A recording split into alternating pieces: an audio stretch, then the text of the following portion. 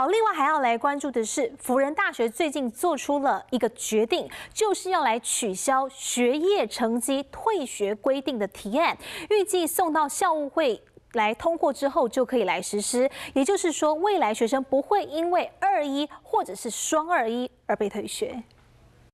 椰蛋树下许个愿，不必再多浪费一个愿望。以后福大学生不必再祈祷上帝保佑考试不会死当二一被退学，因为福大教务会议通过，未来学生不会因为成绩二一或是双二一被退学。送上这个椰蛋礼物，大家喜欢吗？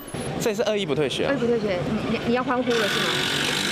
其实还蛮值得欢呼的啦，因为有些老师可能就是可能给分的方面很严格啊，然后你可能就那一科被当，然后其他科也不幸运的话，嗯，就会直接烂掉了。已经被恶意的话，你要考什么转学考那些进，再重新进一次学校那些的，那个手续也很繁琐，然后又会浪费一年。你会不会因为这样你就说啊，那算了，那就不要念了？不会啦，因为都交钱了，不念就很亏。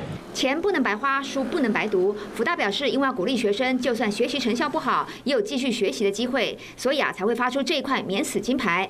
未来呢，也将每学期选课的上限三十二学分调降为二十五学分，希望提升就学的稳定率。二一不退学，福大不是领头羊，包括阳明交大、政大、师大都早一步起跑。师大表示，实行二一不退学后，二一的学生并没有暴增，跟以前一样维持百分之一。考试就算临时抱佛脚，一样抱得特别牢。华新闻黄敏慧、张道勇台报道。